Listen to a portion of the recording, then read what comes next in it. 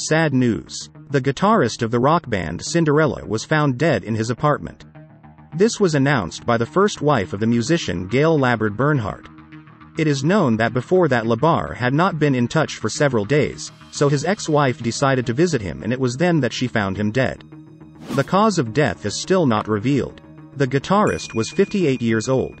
Cinderella was one of the largest hard rock bands of the 1980s, known for their glam style and tracks such as Nobody's Fool and Don't Know What You Got, Till It's Gone, the group's biggest hit on the American Billboard music chart.